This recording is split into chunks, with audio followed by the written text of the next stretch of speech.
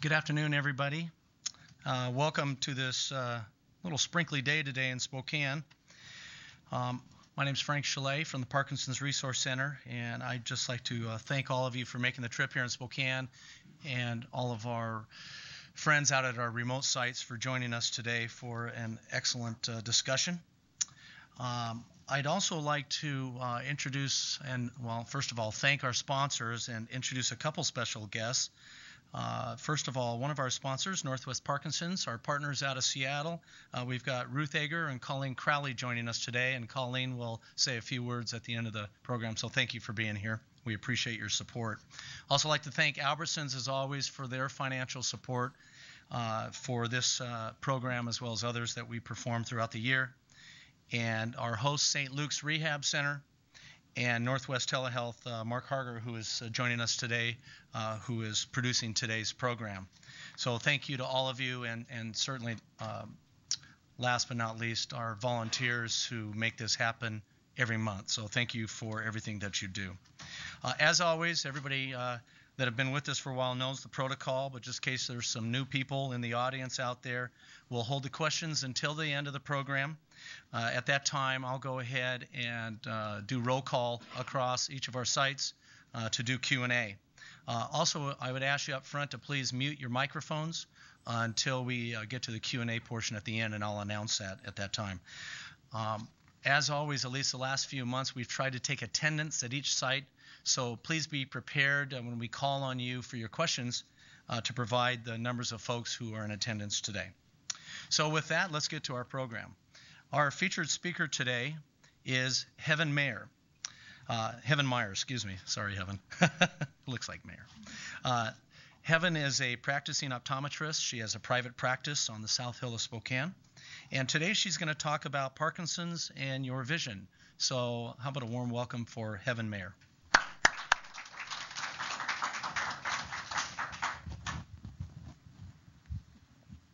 Hi, thanks so much for inviting me to speak today.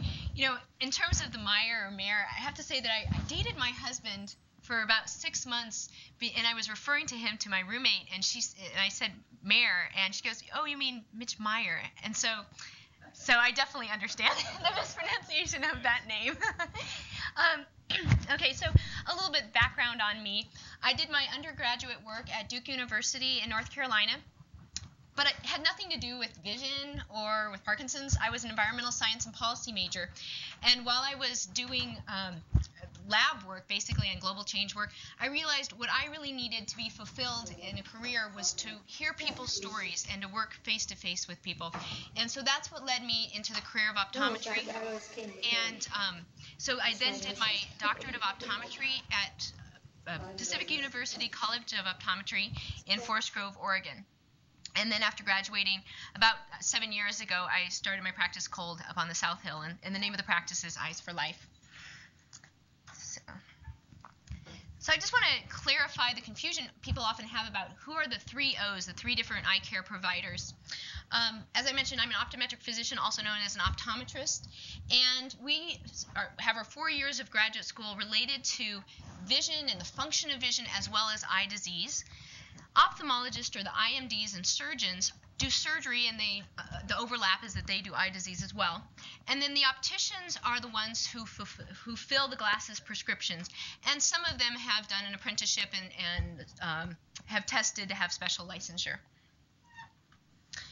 So i'm not planning on talking a whole lot about what is parkinson's disease because i'm sure that you all have had a lot of lectures on that and probably know about it even more better than i do.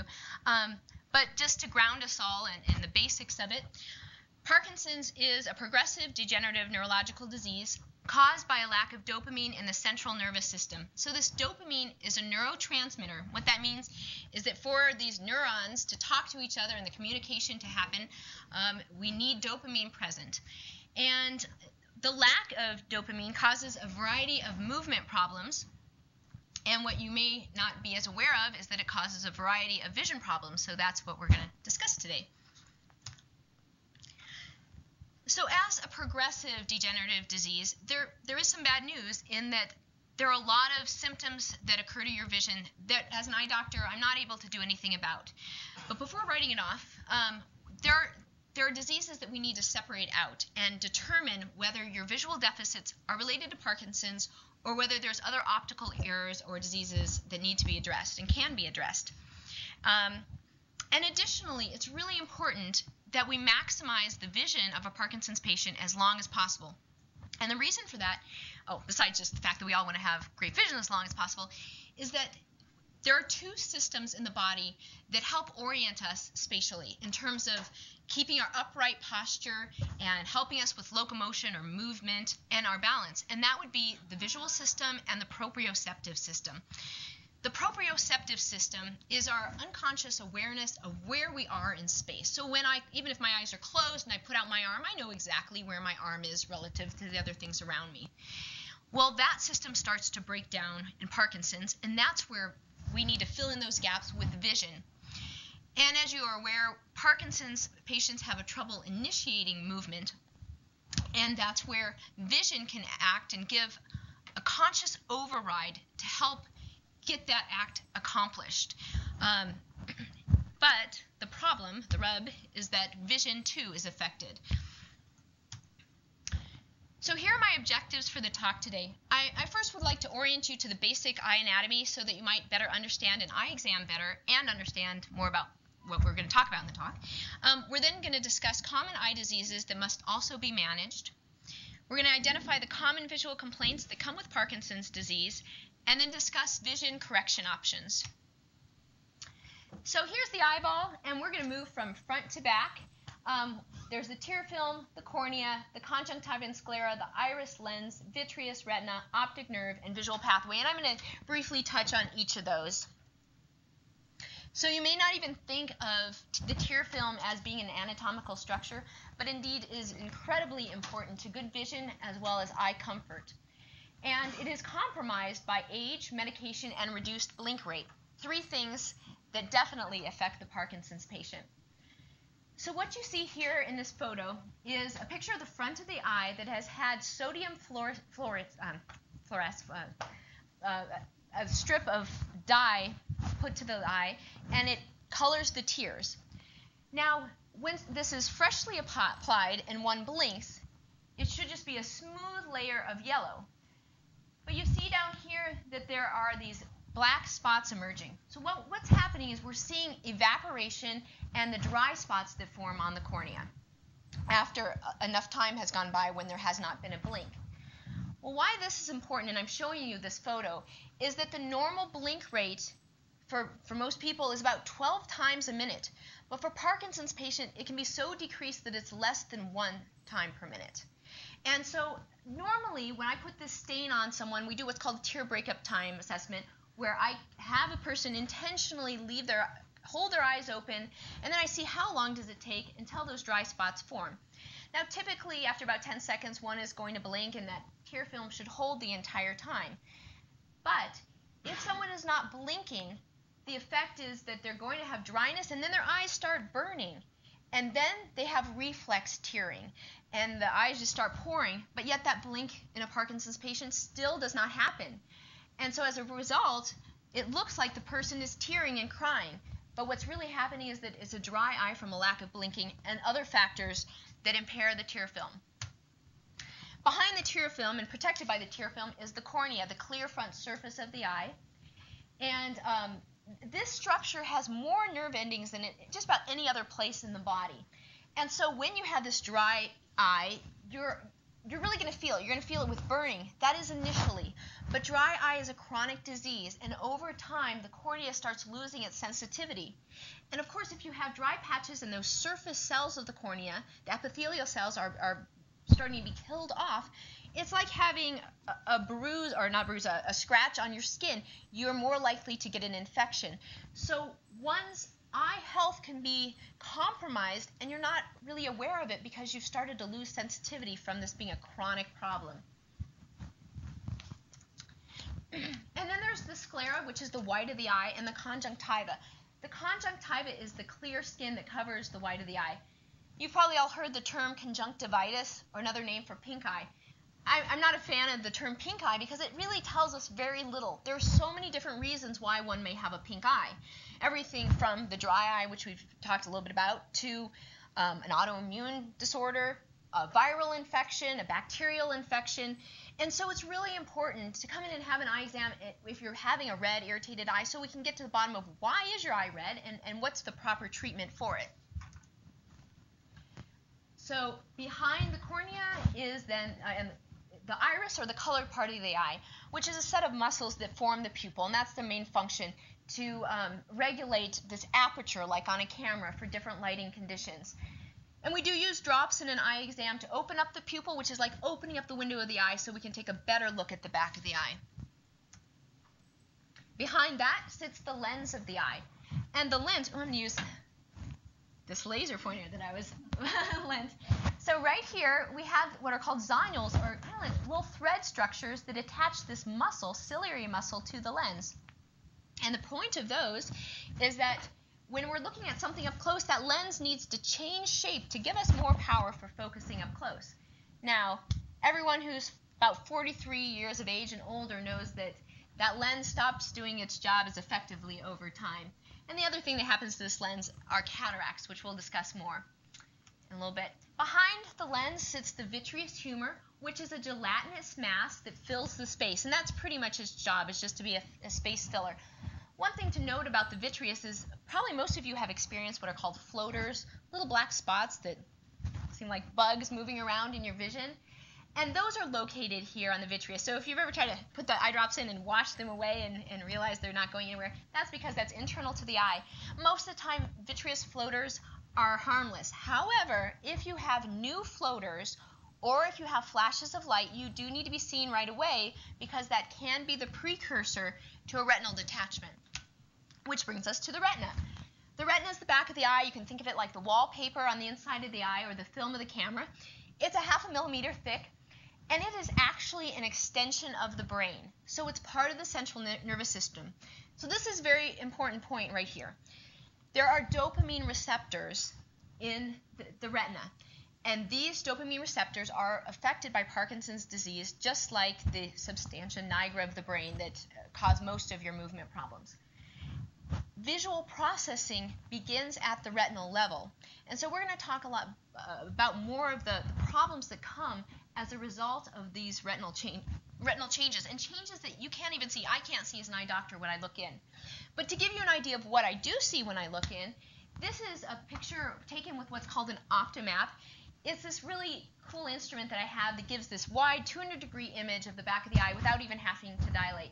So just to orient you to a few uh, structures here, Right here, this white circle disc is the optic nerve. And with it come in all these blood vessels that we get a beautiful view of. Over here is the macula. The macula is the sweet spot of vision. So your straight ahead vision is right there.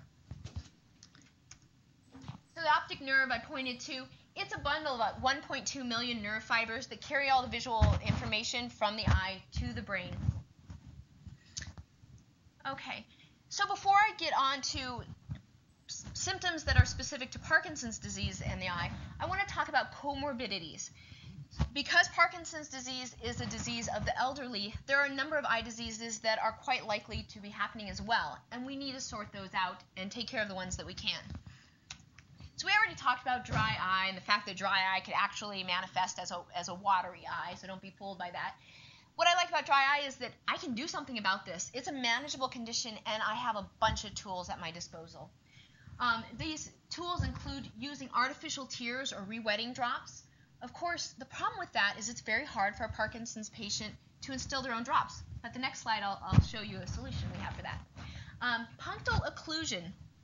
Punctal occlusion is referring to putting these plugs right where the tears flow down to the nose. And the purpose of that is to keep the tears on the eye longer, whether it's your artificial tears or your own tears, when you're not blinking as much and those tears are going to evaporate very quickly, if you can keep more of them on there, it's going to help. Um, Restasis, you've probably seen ads for. It's a prescription medication that helps with tear production. And then flax or fish oil supplements help with um, the components having the right balance to the tears. And then you can just make your environment moisture by using a humidifier. So I was oriented to this just two weeks ago when one of my cataract patients came in and, and showed me this. He had gotten it from a mail order catalog. And it's a cool instrument which will hold the eyelids open, and then it has a hole to direct you where to look while you squeeze so that the drop will go in the right place. And when I looked this up online, I found it on a website for occupational therapists and, uh, and adaptive devices. So I just found out about these, and I plan on ordering a bunch so that I can have them on hand for patients um, who have difficulty putting in their own drops. Along the same lines of dry eye, there's what's called blepharitis, which is an inflammation of the lids and lashes and it's caused by the normal bacteria that's on the face getting out of control.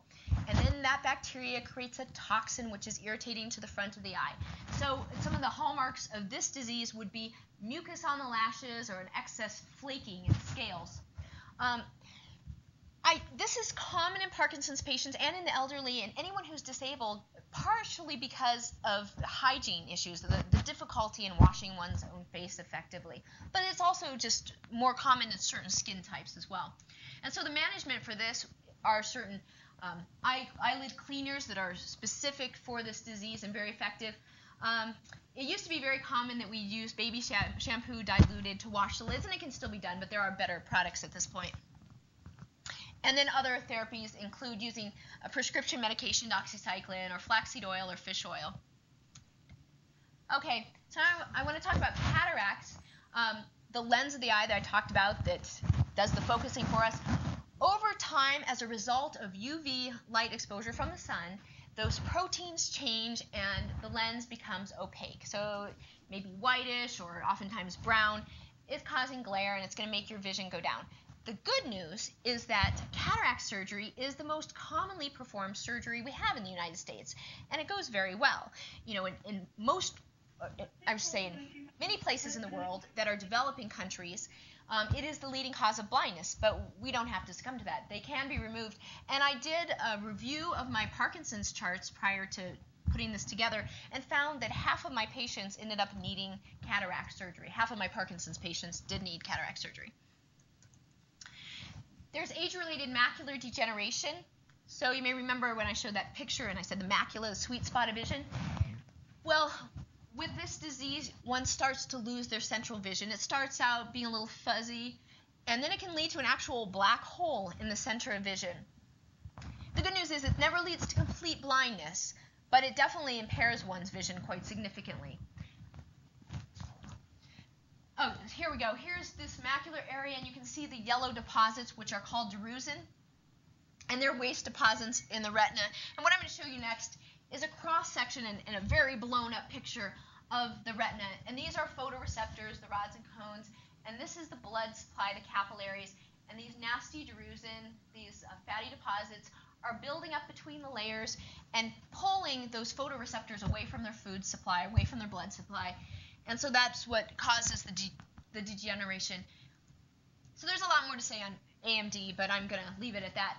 Then the, another common disease is glaucoma. So kind of the opposite from macular degeneration, where again, with that you lost your central vision. Glaucoma causes a tunneling of vision and can lead to complete blindness. It's generally thought to be a result of high pressure in the eye, although that's not always the case, and we're always learning more about um, glaucoma. But when the pressure is elevated in the eye, damage occurs to the optic nerve, and these nerve fibers are over time gradually lost. So we manage the disease of glaucoma generally with drops as the first line, drops that will lower the pressure. And I just want to show here, um, these are four different tools that are all used for checking pressure. So some of you may have experienced this one here, which is the old standard, the blue light. But one of the challenges of this instrument is that the patient has to get their head up against the forehead rest. And we know that there are postural issues that can come with Parkinson's disease, which make that very difficult. Also, that you have to keep your eye open nice and wide. Um, otherwise, it's pretty challenging to get the probe in there. Um, this one's the old favorite, the air puff. And uh, I used to have that. My patients are very glad that I got rid of it. Um, then I then I moved on to the TonoPen, which with a little tap I could get a reading. Um, but I've also abandoned that, and I, and I love this. This instrument here gives me a pressure reading without even having to put numbing drops in the eye. So I guess one of the things that this demonstrates is that technology is constantly advancing in my field, as in many fields, and so um, don't be surprised if when you visit your eye doctor, there's something new every year. And if you don't see something new every year, you may want to ask why, because there is a lot that comes out. Okay, I think the final disease comorbidity I wanted to discuss was diabetic retinopathy, the leading cause of blindness for people younger than age 45. Um, so diabetes is on the rise because of our epidemic of obesity in this country, and it's really important that every diabetic have a yearly eye exam um, not only because of the damage that can happen to the retina, but also because we have such a beautiful view of the blood vessels, and that your doctors um, want us to do an evaluation because that gives them an, them an idea of how the blood vessels throughout the rest of the body are doing. So we always report back to the PCP, the primary care physician, about the, the exam results. All right, so that was the comorbidities. Now we're going to jump into more Parkinson's related.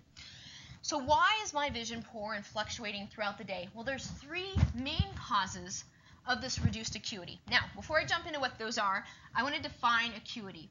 Acuity, we use that nomenclature of the 20/20. What does that mean? Well, a normally sighted person that has no disease in their eye, if they, you stand 20 feet from the chart and you're looking at a certain size letter, the 20/20 letter, you should be able to just see that. And the larger that bottom number gets, so instead of 2020, if we say 2200, that means a much larger letter and so worse vision. So what 2200 means is that that normally sighted person can step all the way back to 20 to 200 feet and still see that letter um, because it's larger. So just to give you an idea, 2040 is the legal limit for having no restriction restrictions on your driver's license. 2070 is um, legally low vision, and 2200 is legally blind. That is with best correction. So don't be confused by that. Plenty of us will go in and we take out our contacts and glasses and see way worse than that, but it's always with the best correction in place. Oh, anyway, I was going to get back to. So the three main causes are low contrast sensitivity, double vision, and focusing problems. So what is contrast sensitivity? It is seeing something against its, background. And these, with this chart here, the Snellen chart, this is, you're probably familiar with what is used in most eye doctors' offices, whether it's projected or printed chart. And there is perfect contrast here. I mean, we've got black on white. So this chart doesn't tell us a whole lot about contrast or anything. And it just gets smaller as we go down to like the 2010 and whatnot. Um, in contrast, over there is a chart which you probably see very little of, but it is it's called a Pelli-Robson chart. It's primarily used in research, so you don't see it a whole lot in your eye doctor's office. But you've got this same size letter, and I believe it's about a 2050 letter, and it just gets dimmer and dimmer as it goes down. So my point here is that a Parkinson's patient may be doing just fine on the Snellen acuity chart, but if they were actually tested on the Pelli-Robson chart, may bottom out. Um, but again, just, just don't typically use that chart. Um, so when it comes to contrast sensitivity, I was reading that right after you take your medication, Sinemet or carbidopa, the contrast can immediately improve. Um, and again, that has to do with those dopamine receptors in the retina. Some of the ways that we can work with this contrast uh, problem is by the use of filters. So a yellow filter is a good indoor filter for it'll brighten things up but it'll help with contrast. It can cause a little bit too much glare when you're outside in the sun. Um, an amber filter is a great lens for driving and uh, helping with the contrast. I happen to love wearing an amber sunglass because of the way it really makes reds pop. Um, pink has also been suggested as a great color. Now, something to know about all these filters is it's really going to be very individualized. It has to do with what other kind of diseases are going on at the same time. So a patient should really try out other the different filters to decide what's going to work best for them, or if it will even make a difference. So double vision. Half of the patients with Parkinson's that have come to see me came to me because they were having double vision. There you go. Listen. Oh, double vision. Double vision um, but it means that that's at least what drives them into my office. And so there's different types of double vision, and the first step is to figure out are we talking about binocular double vision or monocular?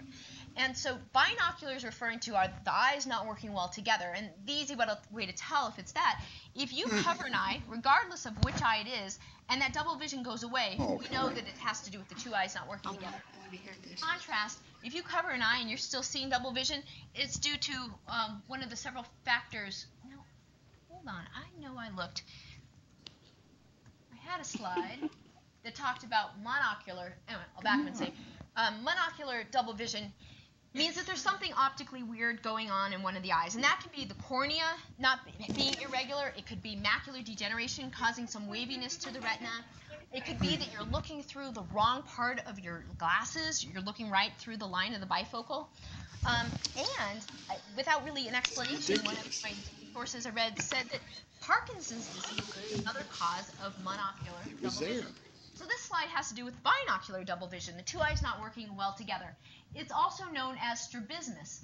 And so each eye has six extraocular muscles that tug it in different directions, and the two eyes should always work in tandem, except when you're looking at something at near and then they converge in together. Um, because these are muscles, and muscles are affected by Parkinson's just like every other muscle that you have, the coordination is thrown off. And um, I'm going to get back to that moment, but I want to talk about convergence insufficiency. I said that when you look at something up close, your eyes need to track inward. This is also a common problem that has to do with um, binocular double vision. Um, sometimes it's difficult for a patient to bring their eyes to converge together, and we can do something about it by putting prism into glasses that'll direct the light out to where the eyes are.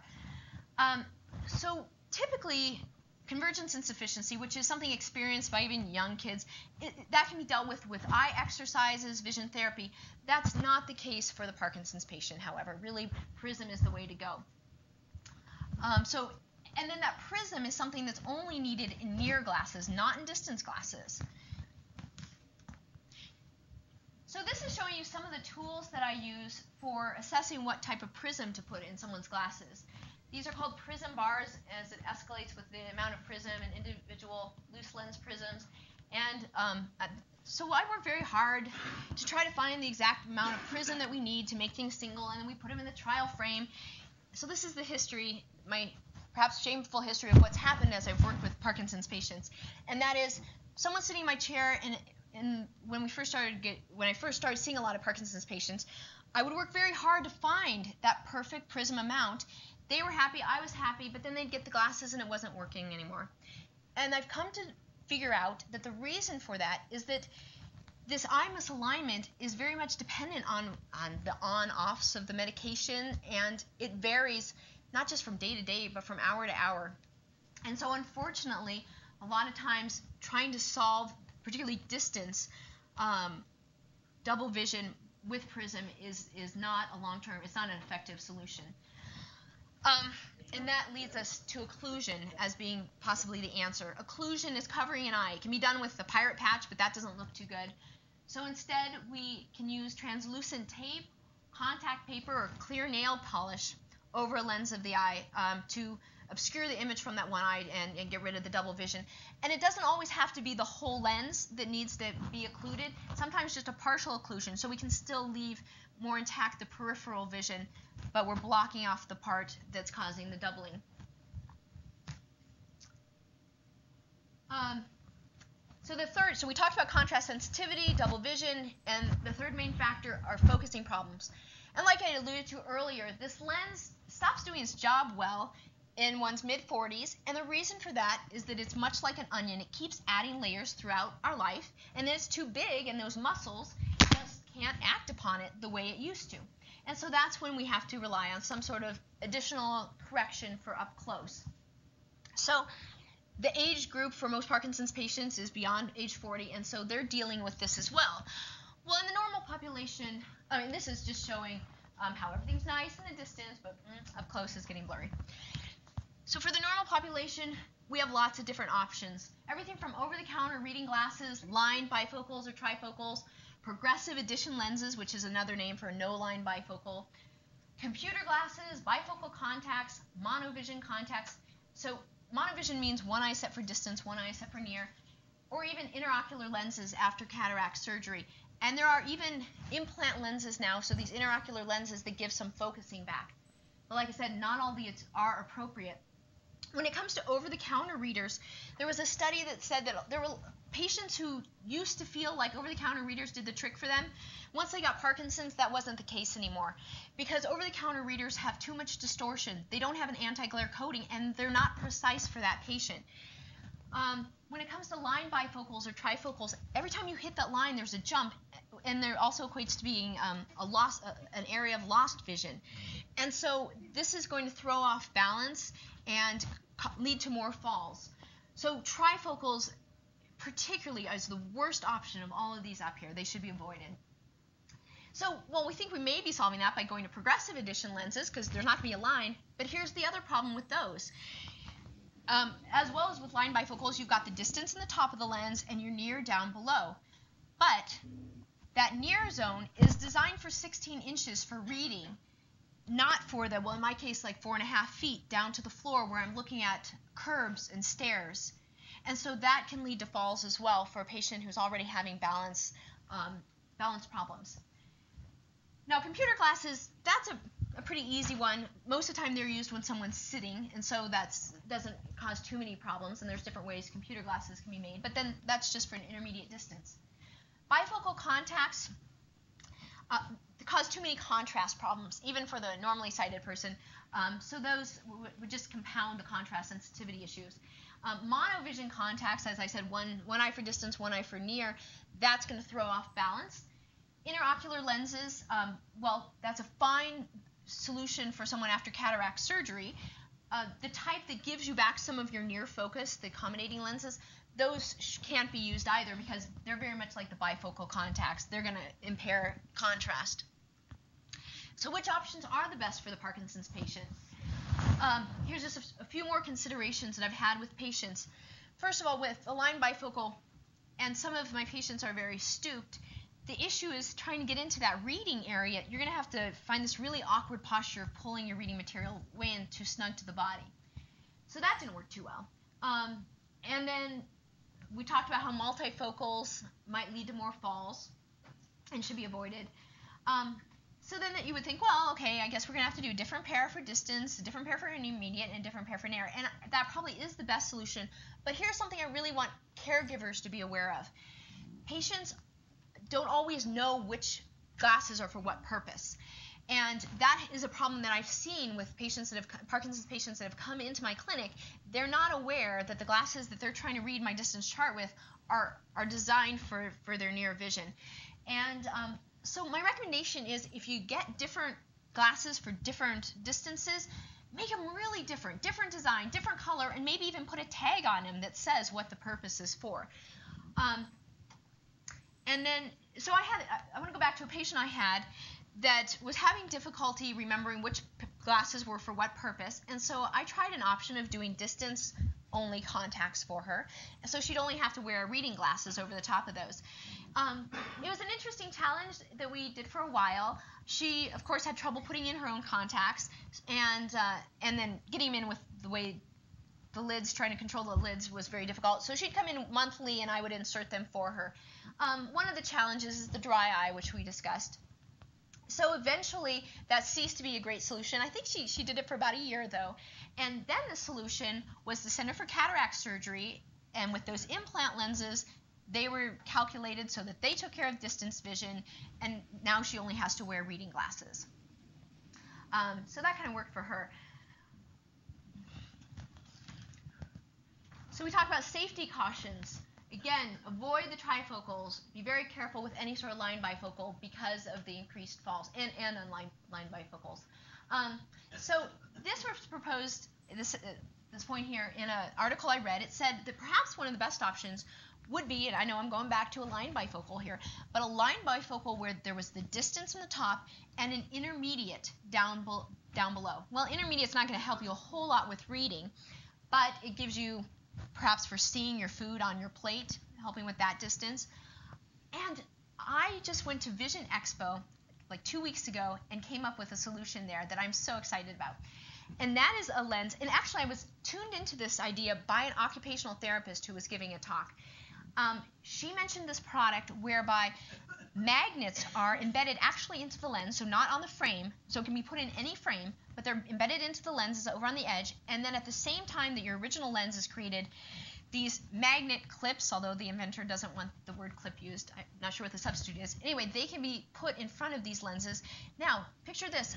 Even though a person may have motor control, if you put that magnet in place, it's going to lock in very easily. And so there's a lot we could do with this. When I think about this solution of the distance and then the intermediate, if I put a little bit of power in that clip, I can turn that distance power into an intermediate power. So for using the computer or seeing the food on your plate. And then that'll also turn the intermediate power into now a reading power. The other cool thing, possibility of this, and what she was talking about in her at um, this occupational therapist in her talk, was putting some prism in for that convergence insufficiency. And so again, you don't want that prism when it comes to your distance vision, and you may not even need it every day because remember with Parkinson's some of these problems are, var- are variable from day to day but when the prism was needed being able to clip that on and then you can also do sunglasses. And I think that's pretty much what the, the manufacturer originally was thinking about but you, you can make them into sunglasses and try out the different filters for different purposes. So I just found out about that. I had never even heard of that before but it's something that we're going to start offering at my practice. And I'm excited to see how I might be able to utilize it for many patients as well as my Parkinson's patients. Um, and then the last consideration is that because falls are more likely, use a shatter resistant material um, for added protection just in the event that that should happen. Okay, so we just reviewed contrast sensitivity, double vision, and focusing problems. There's a host of other problems we're now going to talk about. I, am sorry, I'm bouncing around too much and causing this to make noises. Apologize for that. Um, Reduced visuospatial attention, eye movement difficulty, abnormal color vision, we talked about dry eye, don't have to revisit that, visual hallucinations, difficulty opening the eyes, and eye pain and fatigue. What the heck is visuospatial attention? Let me tell you, it took me quite a while to wrap my brain around this. And then I came, found these quotes, and I think these help a lot. So I'm going to read them. Atten- I'll read from here. Attention restricts processing to some items over others and allows the attended item to become more salient or enhanced relative to unattended items. What does that mean? Well, as I see it, we've just got a lot of noise. There's just so much going on in our visual space, and so for our brain to be able to cope with that, it has to ignore certain features and we just focus on what we need to at any one time. So, yeah, you know, we see the trees out of our side vision as we're driving along, but it's not really relative until relevant until that kid comes, you know, jumping out on their bicycle, kind of thing. Um, so, and then this next quote attentional processes can be viewed as protecting an organism from information overload. Now, I, I haven't had a conversation with a Parkinson's patient yet about this. I probably should to understand it more, but um, I can see where this feature of being unable to really drown out the noise and to just concentrate can really make reading difficult. And I know I've had a number of Parkinson's patients who used to like reading and, and they've kind of given it up. And there's a number of reasons. I would think this would be one of them. And then this next point is the other main one. I'm eye muscle movement difficulty. So this can be everything from the inability to move one's eyes into upgaze to the inability to fixate and follow, which are called pursuit eye movements, and that means if something's moving like my finger, I can watch it go around. But the most important when it comes to disabilities with reading are going to be what's called saccadic eye movements.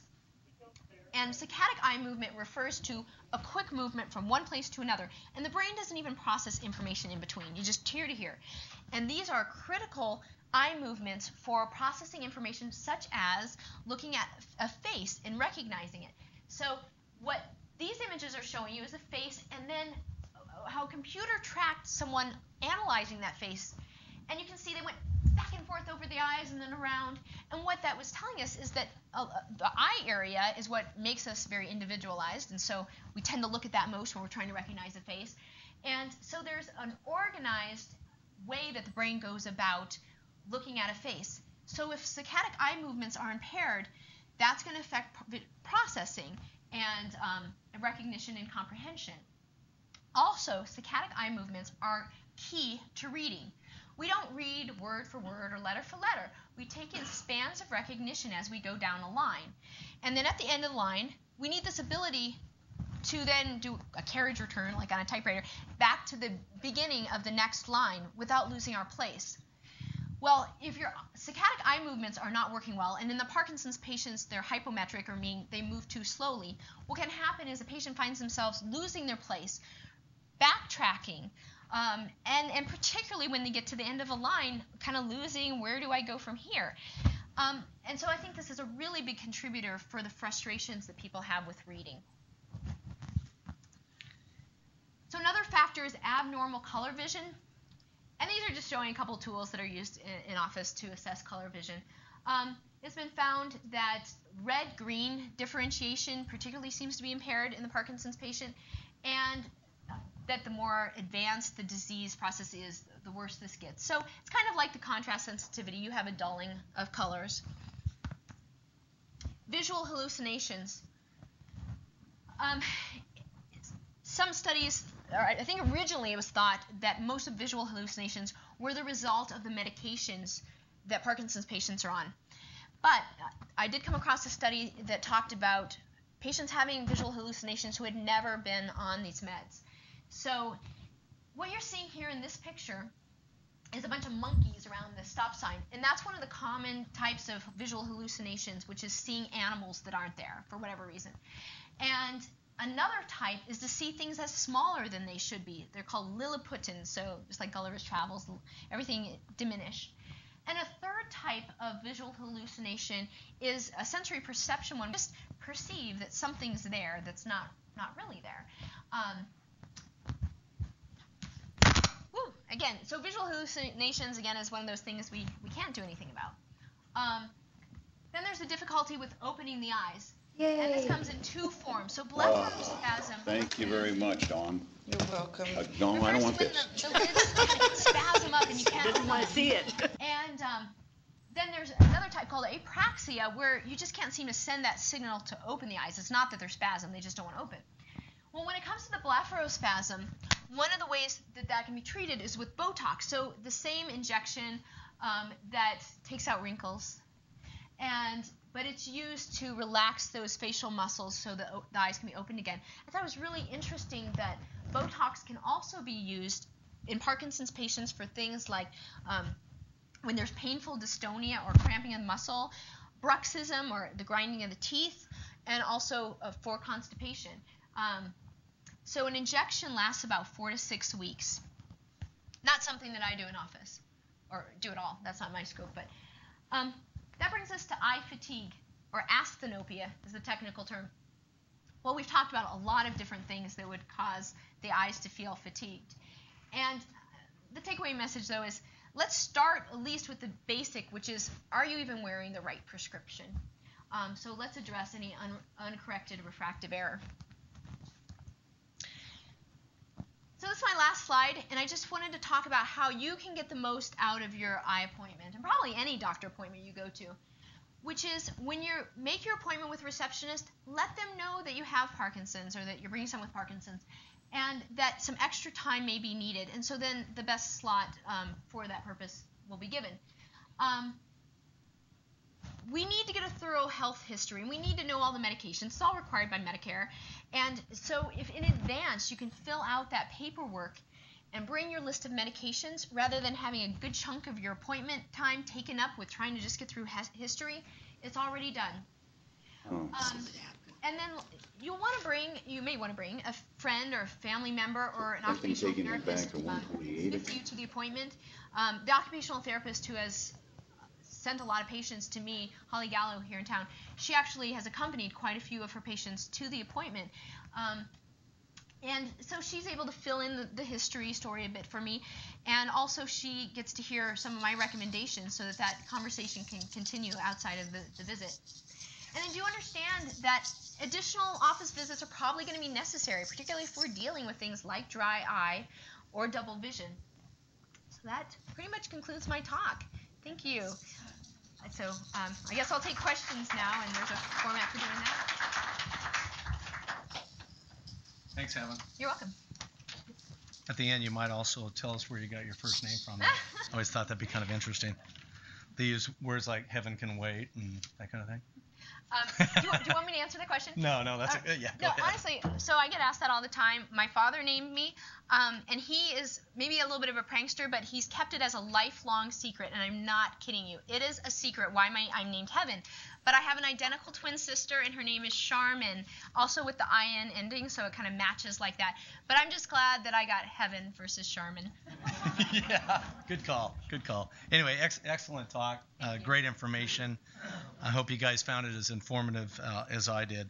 Um, as always, I ask all the remote sites to please uh, turn on your microphones now, and uh, we'll go through uh, roll call uh, for a Q&A. And as always, just a reminder, uh, let's make sure that you uh, tell us how many people are at each site, okay, so we can get a tally on the numbers for today. So let's start uh, in Anchorage, Alaska. Uh, any uh, questions for Dr. Mayer? Yes, there's one. There's there are five of us here, by the way. Okay. Thank you. yes, uh, I have trouble with uh, depth perception, and my uh, neurologist had to have my eye exam check that because maybe I missed the bottom tier or can't figure out how how uh, deep it is in falling. Recommend anything for a test for depth perception in eyeglasses? Well, there, there certainly are tests of depth perception, stereo tests where um, you put these polarized lenses on and, and, and look at, well, for example, one I have shows this butterfly that pops out. But you only get good depth perception if you have the two eyes working well together. And that's what's called stereopsis, and it's the pinnacle of vision. So if your eyes aren't working well together, and even if it's just a micro amount of being off, you're not going to have that stereo vision. So uh, it's, it's not surprising that, that that would be a complication. I hope that helps. Are there exercises you can do for your eyes that would help with that? I, I'm sorry, I didn't hear that. Are there exercises you can do for your eyes that would help with that? Exercises. Well, vision therapy is a whole kind of subset field of optometry, and there's definitely plenty of exercises that are out there for um, for dealing with depth perception and, and the eyes working together. But quite honestly, my understanding is that for Parkinson's patients, it's not all that effective. I, I hate to say that, but uh, it seems to be true, and part of it goes back to what I was saying with those. Um, the fact that it's not a stable kind of condition is progressive and it varies. So it varies from one time of the day to the next time of the day. So exercises aren't aren't too effective. So transitional glasses would be not good for that? I'm sorry for transition glasses Transitional, uh-huh. or, or the progressives. Um, Okay. So progressive lenses um, give us all the different distances in, in focus um, depending on what part of the lens you're looking at. And like I was saying, for, for many people, it's a great option. It's what most of my patients do get.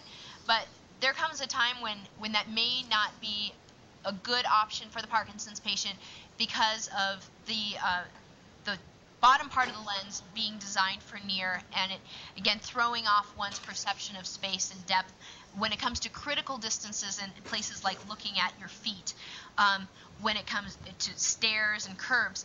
And the reason one would be looking at their feet even more uh, with when, one with Parkinson's versus the normal population is again comes down to that proprioception. You know uh, um, for most of us when we can when we step and, and we're doing steps we have that automatic knowledge of just how high to lift our foot and that's lost over time with parkinson's and so then you need that that visual stimulus to help you but if you're looking through the wrong pair of, wrong part of your glasses um, or the part that would make sense to look through which is the bottom part of the lens but it's not set for that it's set for 16 inches and so that's that's where the problem arises hey i want to do a shout out to alaska i, I grew up in kenai Oh, great. Thanks. It was a great talk. Thank you Thank you for your questions. Okay, let's go to uh, Walla Walla, Providence St. Mary's. Any questions? Questions, thank you. Uh, how many people? How many in attendance? Yeah, looks like two. Okay, Uh, Billings, Montana, Deaconess Billings Medical Center or Clinic. Any questions? No question. And how Can many, we please? eight? Thank Do we you. have any questions? Any questions? Any questions? Okay, thank you. Uh, Tonasket, uh, North Valley Hospital. No questions. There are four of us. Thank you so much for joining us today. Uh, Clarkston, Tri-State Memorial. Yes, uh, good afternoon, Doctor. Thank you. That was very good. Uh, we have three questions. Uh, the first question is, can you give me suggestions on how to get a correct prescription? Uh, I've been in a situation where when the doctor was uh, flipping the little dials and measuring my prescription, he could not get a convergent answer from me because my eyes kept changing, he said. Um, any suggestion on how to get a, a, good prescription when you have that situation? Okay, one of the things that could make your vision be fluctuating when we're asking which is better, one or two, is excessive watery eyes or the dryness. So if the tears aren't functioning well, that's going to make it really hard to answer. So this may or may not be your problem, but when I find that's the case for patients, I put some artificial tears in right there in the office um, while I'm doing the refraction, and that helps a bit. Um, don't be afraid to just gently tell your doctor that maybe you need a little bit more time. Um, so sometimes we can get kind of rushed and want immediate answers, and just a, a reminder that you may need to study a little bit more on that. But I also want to point out that sometimes patients get a little bit worried about what their response is on the which is better one or two. And the fact is, when I'm refracting, we're looking for that point where a patient can't tell the difference. That's that's one of the endpoints. So to say I don't see a difference is actually a good response, and it, it, that just means boom. Now we go to the next piece of this um, of the process. Um, hope that helps. That helps some. Uh, two other questions. Uh, is there any effect of 3D television on uh, on the eyes for somebody with Parkinson's? You know, I don't think there's a lot known about what 3D on the eyes is going to do in general. But well, I take it back. We were talking about vision therapy, and actually, 3D tools like those polarized tools I was using, or using red green like is done with 3D TV, are actually methods used for vision therapy. But I think that it's asking way too much of the uh, Parkinson's brain, and by brain I mean the retina and the visual processing and all of that I discussed, like the visual, spatial, on and on, to, to add that extra le- level of 3D vision. I don't think it's going to help. I think it's just going to cause a lot of eye fatigue. Okay, thank you. And the final question had to do with any kind of treatment for dry eyes that you would recommend? Well, there's so many different treatments, and it's really important to, to get with your doctor and have a dry eye evaluation. And in a dry eye evaluation, what I'm looking for is what is the cause of this. So in Parkinson's, sometimes it's really obvious. The patient doesn't blink very frequently. But it can be everything from the oil glands that are around the eye not functioning well, and that ties in with that blepharitis I was describing, the infl- inflammation of the lids.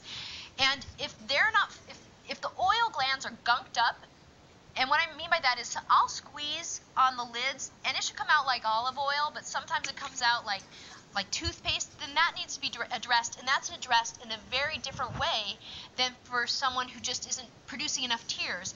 So, for example, there are diseases, autoimmune diseases in particular, like Sjogren's and um, lupus, and, and, and actually just the hormonal changes that happen to women um, post menopause, perimenopause, and where you don't produce enough tears.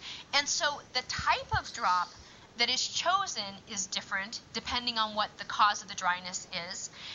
And, and that's really confusing territory because you go to the drugstore and there's shelves and shelves of different eye drops.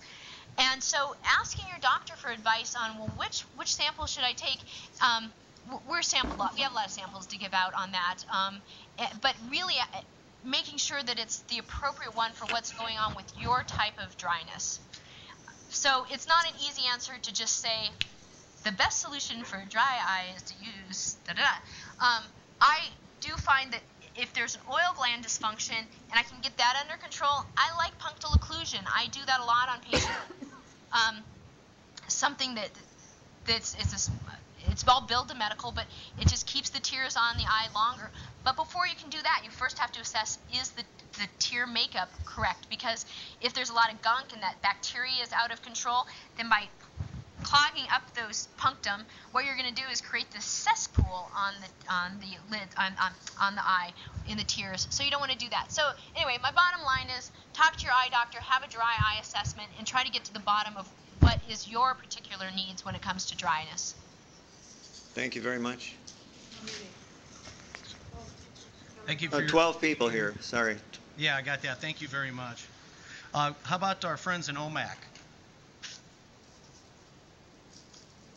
Any questions?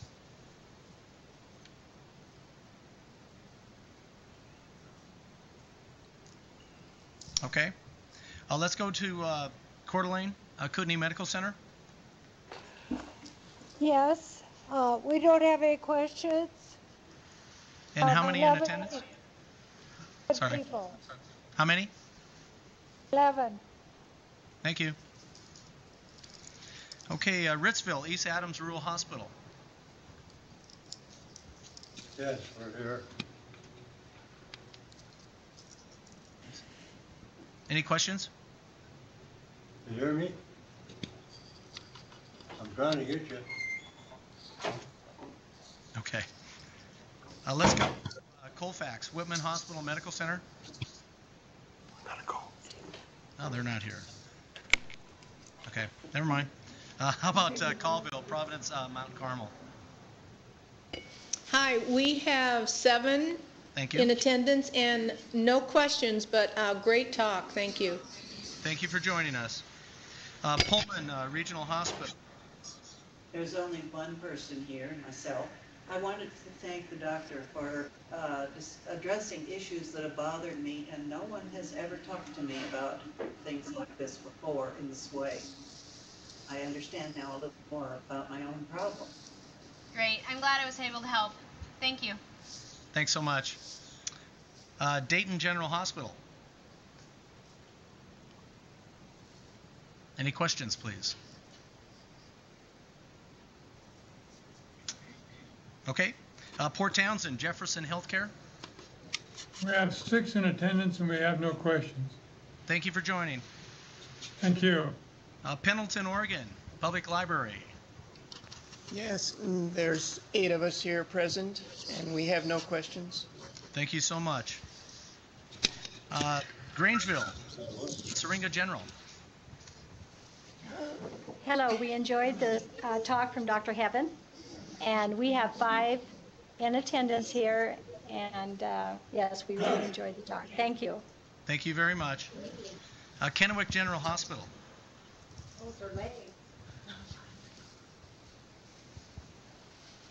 Any questions, Kennewick? Was your daughter in Can we turn this off and you want to listen to Yes, we have a question, please. Hello? Hi. Hello, Kennewick. Yes, I have a question. Yeah, how many are there? Or is there two of you? What's this? Yes, I have a question. Okay, go ahead. I'm happy to take your question. Go ahead.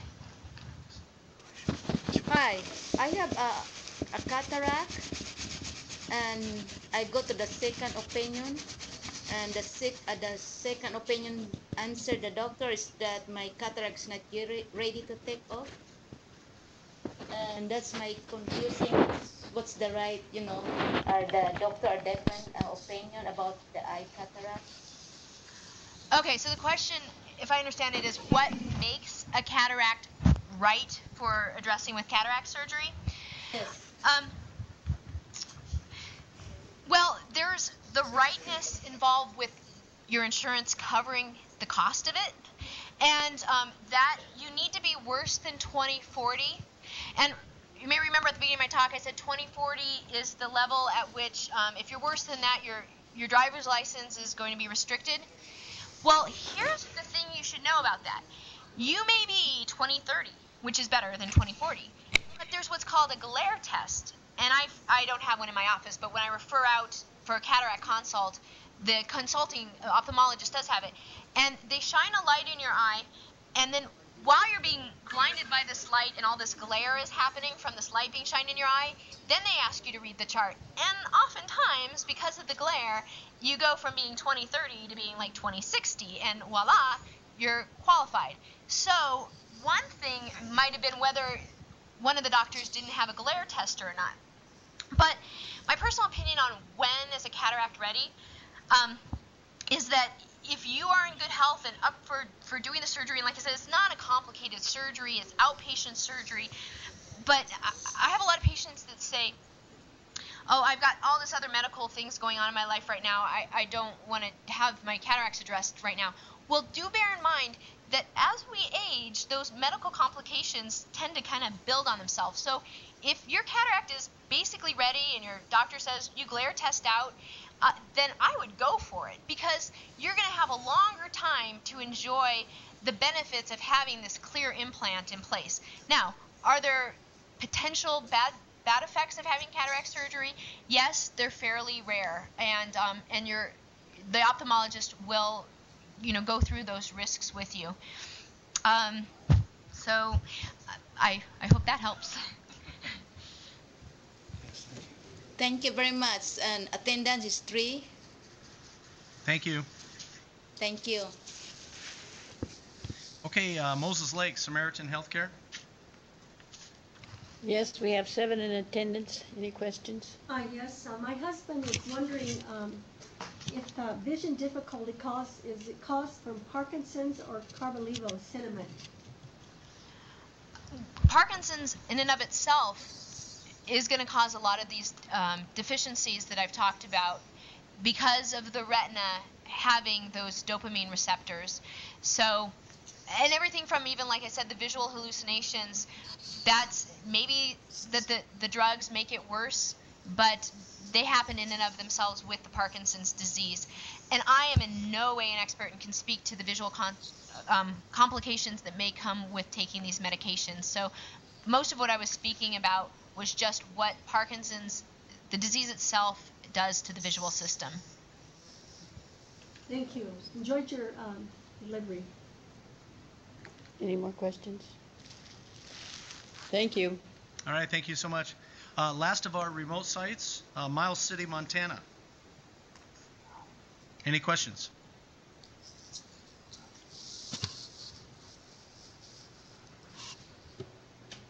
Miles City? Okay. All right, so let's go to our uh, local audience in Spokane. Folks, any questions? And Walt has a microphone if you. Well, Miles City. Oh. Yes, Miles City. Any questions? Yeah, Miles City's here, and we have eight in attendance. But if you'll count us for 16, because we all have double vision. okay. Anyway, anyway, we we have a gentleman here that would uh, like to know if there's any way of improving night vision. Improving night vision. Yeah, that's Stay at home, right? Well, okay. No, that, that's a really good question. I just want to think about. So, night vision uh, can be made worse because of cataracts. So, one of the things to look at is are there cataracts involved because that's going to cause a lot of, a lot of glare issues. Um, some people are just more prone to night vision problems, and with what's called um, higher order aberrations, and this may be going beyond what you want to hear, but it, basically there are elements of the visual system that go beyond what a standard what a standard prescription is going to address. And so, for example, I have in my office something called um, a Z-View autorefractor and a wavefront analyzer, and it sorry. Ah. Um, so this Z-View will give me a printout that shows not just what the expected refractive correction is with glasses, but also these higher order aberrations. And the bottom line on that, they, it was originally pitched to me that this company could make glasses that were better for night vision. I, I don't really buy into that too much anymore. It's being worked on because wavefront analysis is definitely the wave of optometry as we go forward. But at this point, what I use it for is just to show patients, hey, see this? This is the piece that I can't address. So there may be an element of that. There could be an element of cataracts. There could also just be the element of reduced vision and reduced contrast sensitivity. And I, and I probably with Parkinson's would look primarily to the reduced contrast sensitivity issue. Again, the, when at night you're not having the stark black on white or, or anything close to that. So everything is muted and dulled, and that's really going to impair the Parkinson's patient even more than um, someone without it because of those contrast sensitivity issues. Sorry, I think I went way off topic on that. Apologize for it. Thank you very much. Sorry? Any other questions? Okay, let's go to Spokane. Uh, you may have spoken to this. When we're asleep, uh, and we're not blinking, I presume, what is it that keeps the eye moist? And uh, are we still producing a tear? Yeah. Um, when the eyes are closed, you've got a good barrier going. Now, some people sleep with their eyes um, partially open, and one of the hallmarks of that is when you wake up in the morning, and that's when your dry eye is the worst. Um, particularly, another age-related problem is that as our lids start sagging with time, some laxity of the lids, the lower lids can hang open, and so that can happen at night too, causing um, this dryness because you have an exposure over the course of night. But when the eyes are closed well, um, there's not too much. There's dryness doesn't happen because you've got that mucous me- membrane well covered.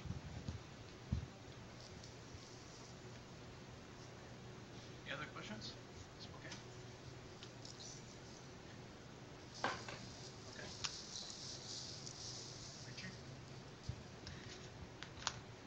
Okay, thank you. Okay, well, uh, thank you, Dr. Mayer, and thank you to all the remote sites. Uh, we do have a couple items uh, for everybody in the audience today. I'd like to invite up um, Colleen Crowley from Northwest Parkinson's uh, to uh, share a little information with us. Colleen? He's not on, we can't hear. Yeah. Thanks, Frank, and thanks, Dr. Mayer. That really was very interesting information. Well, I'm the director at Northwest Parkinson's Foundation, partner with PRC to present these programs, and um, we're really excited to get to see the Spokane group because when we host these over on the west side, there's um, very few people, relatively speaking, in our room than there is compared to your room. So we always see your big crowd here, and we're just really impressed. So, um, at any rate, um, we're delighted to be here and meet so many people, and just wanted to call everyone's attention to the Hope Conference, which is being held uh, in Seattle on October 29th. I know it's a distance away. Um, we have little brochures here that talk about it, and um, certainly want to encourage anyone who's interested in attending to try and make it over. It is an all-day conference, and uh, the cost is $30 per person. It includes a breakfast and a lunch, and um, I think people get a lot of lot out of the conference every year. So we just wanted to make sure everyone was aware of the conference. That'll be October 29th. It's a Saturday this month. So thanks again. Thank you, Colleen. And, and that will be held at the SeaTac Hilton Hotel. So I uh, hope you can make it. That's a wonderful conference uh, that uh, shares great information uh, with everybody. Um, before I have you come up, uh, Walt, uh, for the broad audience, our next telehealth is Monday, November 14th. The speaker will be Becky Tiller. she is a geriatric case manager, and she comes from Tiller Case Strategies, and she's going to discuss the, the role of case managers uh, in the care of Parkinson's uh, disease patients. So, uh, as always, you can get a copy of this and uh, other uh, months' programs by DVD um, by calling the PRC or emailing the PRC. If you have questions about that, do let us know. And uh, Walt, I'd like to call up Walt Jacobowski to, to talk about tremble clefs. The Spokane Tremble Clef started their uh, seventh year uh, uh, here in Spokane last month, and uh, we're very excited to be able to announce that uh, beginning next month, we will be having a north side branch. Uh, we have a lot of folks on the north side who have been unable to make it to the south side to get to our sessions, and the first session will be held on November 2nd at the uh, Avalon Care Center um, from 2:15 to 3:15 p.m. and it'll be held uh, there uh, the first Wednesday of every month. Initially, we'll start off with just the one session uh, every month, and we'll see how that works out. Anybody from the north side is welcome to attend the south side session, and uh, vice versa. Uh, if you need any additional information on this, just uh, give the PRC a call. And if there's anybody out there at any of the uh, remote sites who would like to have some information on uh, starting your own group, just give us a call. Thank you. Thanks, Walt. Um, one last thing too is uh, this past Friday we had our annual annual fundraising event called Shaken but Not Stirred, and if anybody here in the Spokane or surrounding areas attended that, uh, thank you for coming. Uh, it was a wonderful time, I think enjoyed by everybody, and we'll look forward to having you again next year. Uh, Dr. Heaven Mayer, thank you again for your time today, and uh, we'll look forward to seeing everybody next month. And please uh, travel safely. Take care.